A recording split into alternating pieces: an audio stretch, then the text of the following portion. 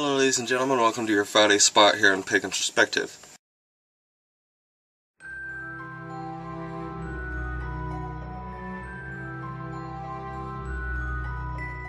This week we'll be talking about, I, feel like we've talked about this again, or I've talked about this, or something similar to this, but anyway, it's still different from what I remember talking about wherever I talked about it. Anyway, this week we're talking about um, Christian witches, Christian pagans, um, specifically, someone asked how we felt about them, a pagan, um, going to a Bible study because they enjoyed the text.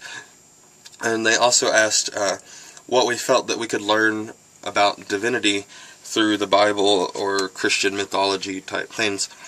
Um, first question, uh, what do I feel about you going to a Bible study? Hey man, do whatever you want. I mean, I don't really care.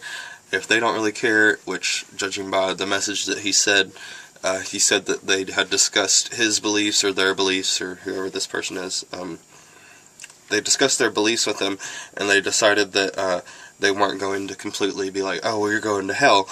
The Christian people decided this, and so this person wants to continue the Bible study. More power to you. Do whatever you like.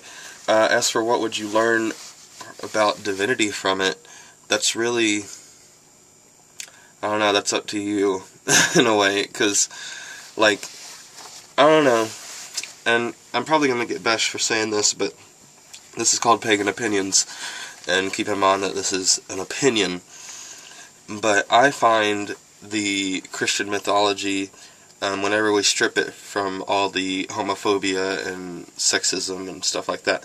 I'm talking about people who I would consider followers of Christ, not necessarily Christians, because Christ was much more loving and accepting and just hippie-like than a lot of the Christian teachings are in the Bible, and a lot of the passages are in the Bible, especially the Old Testament, but there's some really messed up stuff in the New Testament as well.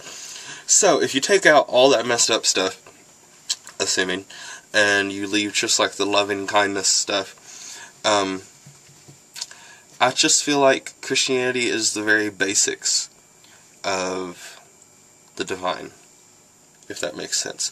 I feel like Christianity is the beginning of exploring spirituality. But the reason I probably feel like this is because I started out as a Christian, and so for me, Christianity was like my baby steps and then like and I'm gonna get slandered for this again but I grew out of it. Like I grew out of Christianity. I got to the point where I was like something seems weird here. I don't like this anymore. And I started to explore other options. And I think there's so many options out there besides Christianity that I feel Christianity almost pointless. But do I think that somebody can be a Christian and a pagan? Yes do I think that somebody can be a Christian and a witch? Yes. As long as these people recognize that the Bible is not 100% accurate, I don't care what they do, and I think that their beliefs are still justified.